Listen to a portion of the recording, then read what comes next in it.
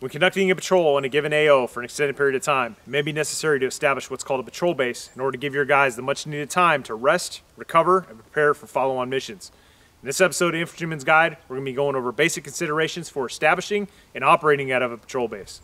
Thanks for watching. Purpose of a patrol base is to provide a secure position where the patrol holds for extended periods of time in order to conduct follow-on patrols in support of the mission.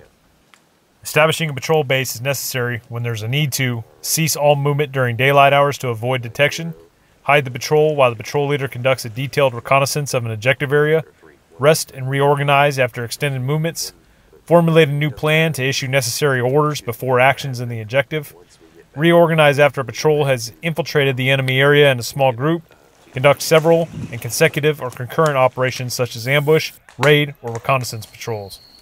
Additionally, there are unforeseen situations that may occur during the conduct of a patrol that can lead to an on-the-spot establishment of patrol base. An example of an unforeseen situation would be that a large enemy force has moved in between the patrol and friendly lines. The initial patrol base is usually selected by using a map, or by conducting aerial reconnaissance, or by using prior knowledge of an area during a patrol planning process.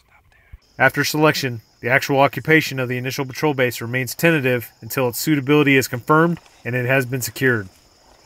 Plans to establish a patrol base must include selection of an alternate location, a rendezvous point, and a rallying point. The patrol will use the alternate patrol base location if the initial location proves to be unsuitable or if the patrol is required to evacuate the initial location prematurely. The patrol leader should plan for at least one, preferably two, alternate patrol base locations if the area is unknown or if the patrol will be establishing a patrol base at night.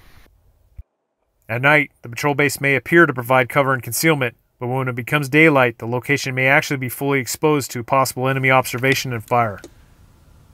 The patrol selects and uses rendezvous points when it has to vacate the patrol base by individual or small group movements to avoid enemy detection. The patrol members should know the rendezvous points, but is not normally reconnoitered before use. The rallying point is used if the patrol is dispersed from the patrol base. It is a point that the patrol has previously passed and found suitable and is known to all. A patrol base may be occupied in one of two ways. The first method is to take it by force. That is to move into the selected site, expand into it, and organize the area.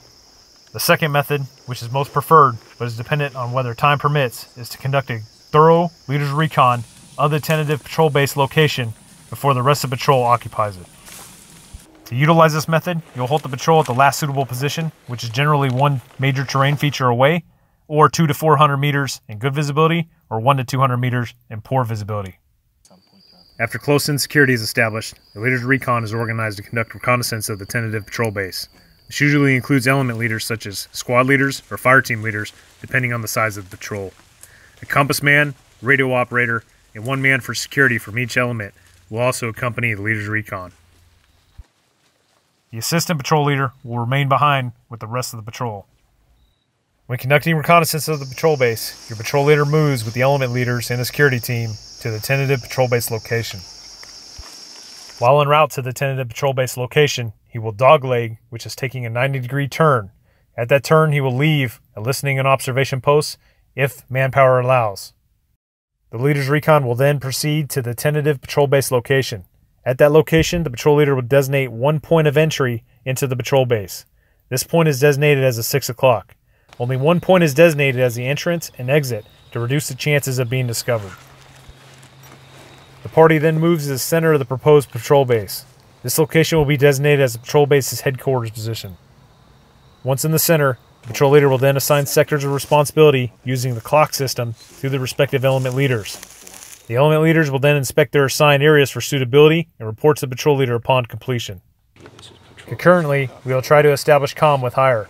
If we do not have good radio communications, then the patrol base location is not suitable. Set up security for the patrol base by sending the security team to the various element link-up points. These individuals will remain at these positions until the rest of the patrol members have been sent in. Once the patrol base has been deemed suitable, the signal will be given to the rest of the patrol to enter the patrol base. Or, the patrol leader will return and lead the patrol into the center of the patrol base.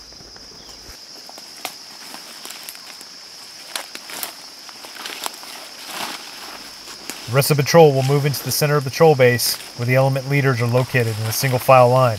Designate a patrol member at the rear of the patrol to remove all signs of the patrol's movement as they enter the patrol base to avoid enemy detection. Once at the center, each element leader will grab his guys and move his element to the left flank of their assigned sector. Each element will then occupy their position of the perimeter by moving clockwise from the left flank of their element to its right. Once patrol members are in their respective position, the element leaders will conduct a reconnaissance of their sectors of responsibility. Move a designated distance forward of their left flank and sweep clockwise until they reach the right flank of their element. Inspect for signs of recent enemy activity in the area, looking for potential observation and listening post positions, withdrawal routes, and potential danger areas. Your patrol base's shape can be whatever you need to meet your specific tactical situation, but there are a few basic designs that tend to work best in providing all around security and facilitate good communication and ease of movement. And that is the triangle, 360, or cigar shape. In a triangle, each team or squad, depending on the size of your element, will take up one side of the respective triangle, with the command element in the center. In a 360 or cigar shape, each team or squad will be assigned a portion of the base using the clock system to cover. In the patrol base, machine guns have priority of emplacement. Machine guns should be used to cover likely avenues of enemy approach.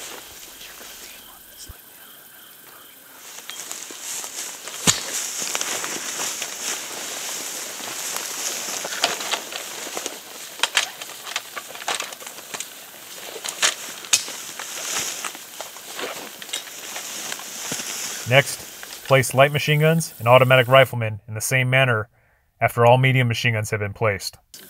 Next, place grenade launchers and or riflemen with grenades in positions that are needed to cover defilade. Lastly, fill in the gaps with your riflemen. Considerations for designated marksmen should also be made if they're present in your patrol.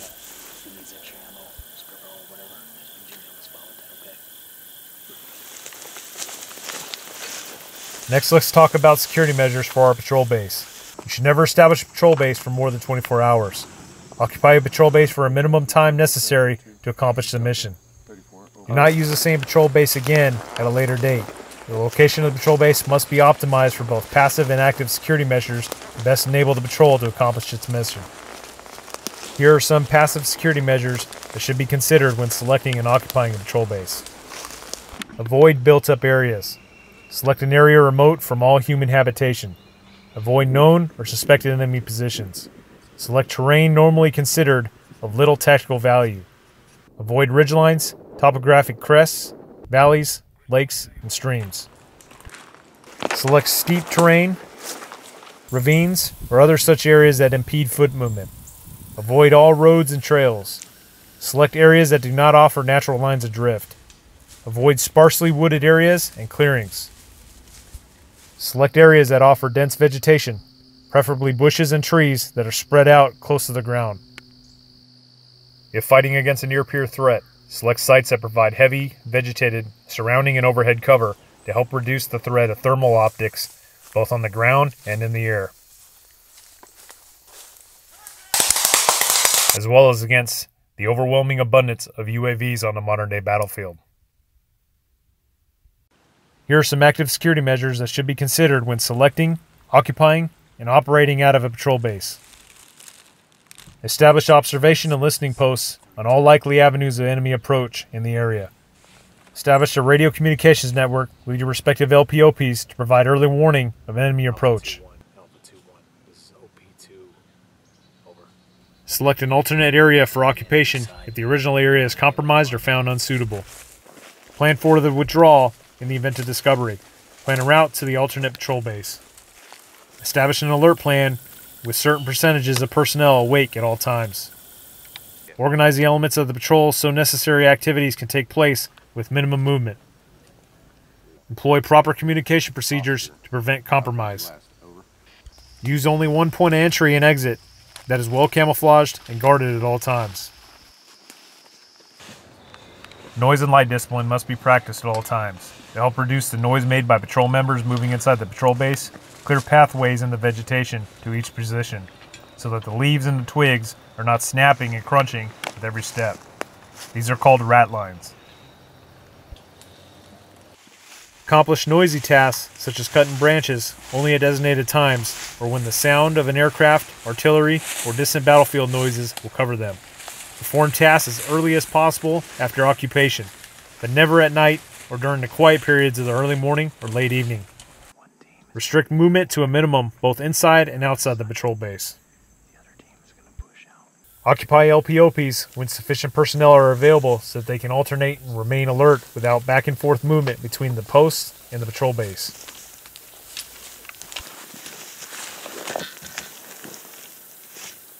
At a minimum, observe a 100% alert status during dawn and dusk, which are generally the most advantageous times for an enemy attack. This consists of a stand to period 30 minutes before and 30 minutes after first light in the morning, as well as 30 minutes before and 30 minutes after dark in the evening.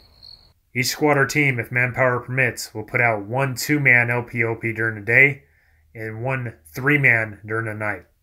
Make sure each patrol member knows the location of members and their positions to the flanks, front, and rear, as well as the times and routes of any expected movements within, into, or out of the patrol base.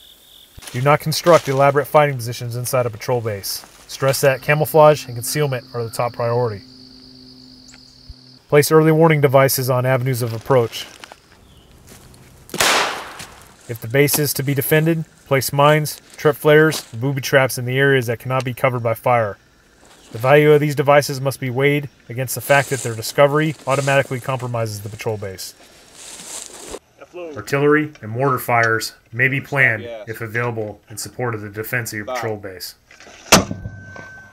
Now we will discuss normal operations within the patrol base. First, we will talk about communication. Establish communication with higher headquarters, elements, LPOPs, and a system must provide every man to be alerted quickly and quietly. Consider the following for options.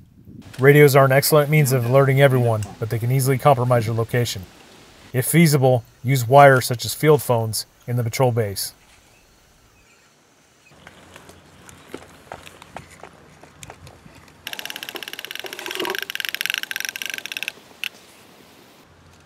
Bravo 1, sit rep, over. You can also make use of tug or pull wires for signaling. They are quiet and reduce radio and telephone traffic.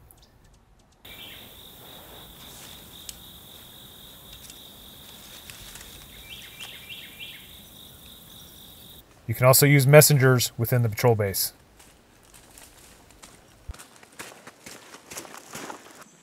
After security measures have been established within your patrol base, weapons and gear maintenance take priority. You and your team leaders will identify how many and of which weapon systems will be cleaned at one time. All automatic and crew served weapons that are not being cleaned should be manned. Sanitation and personal hygiene are important tasks on long patrols. Improper personal hygiene can lead to disease or injuries that can hinder the patrol's performance. Wash, shave, and brush your teeth as needed, but conserve water use. Always use cat holes or carry your waste in plastic bags, i.e., wag bags. If cat holes are used, make sure they are covered and camouflaged appropriately. Carry all your trash out of the site. Never bury your trash in a patrol base. After the patrol leaves, animals will be able to smell the trash and dig it up, leaving it for the enemy to find. Eat at staggered times.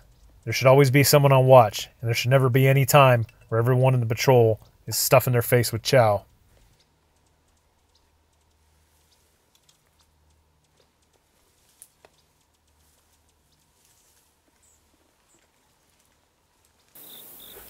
The use of water should be consistent with the demand and availability of water. If there's a local water source, planned water teams should provide the water. Individuals do not visit the water source. Make no more than two visits to the source in a 24 hour period. A proper rest cycle is essential for any fighting force. Rest and sleep are permitted when the patrol finishes its work. Rest periods are staggered so proper security is maintained. Schedule each individual for as much sleep and rest as possible.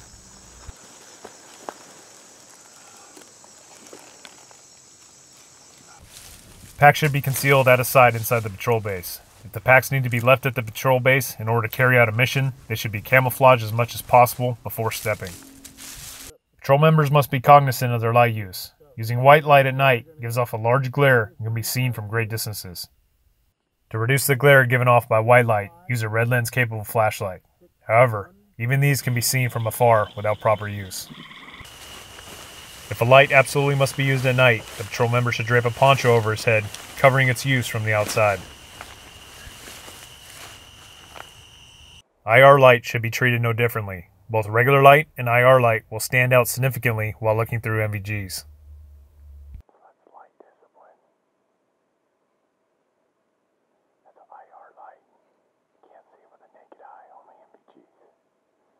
Next, let's discuss resupply. If conducting a resupply in the patrol base, you should move the patrol to an alternate or different patrol base in order to lessen the chance of compromise. If this is not feasible, however, at the very minimum, do your resupply away from your patrol base and have your men bring the supplies back to the patrol base.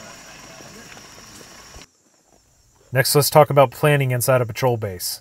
You can make details of planned operations known to all patrol members, but do not assemble all at one time. Doing so will endanger the security of the base. Limit rehearsals to terrain models, with a portion of the patrol rehearsing while the remainder provides security.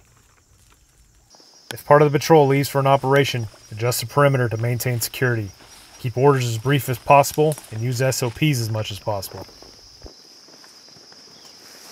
Patrol bases are used in support of missions. Thus, elements that leave the patrol base will need an effective means in re entering it. Everyone in the patrol base should know this process. You're fooling yourself if you think radio comms will always be up. Thus, elements should have a fully known and rehearsed re entry of friendly lines plan that includes not only radios, but near and far recognition signals, as well as challenge and passwords. Boys going to Dallas this weekend? Yeah, we went to watch the Cowboys. Come on in. Lastly, let's consider the following points when departing a patrol base. Remove and conceal all possible signs of the patrol base's presence. Avoid night evacuation if possible. If you depart at night, you risk the chance of not seeing the signs, trash, or footprints that should have been concealed. The preferred method to evacuate a patrol base is to depart as a unit. Avoid departing the patrol base in teams or elements.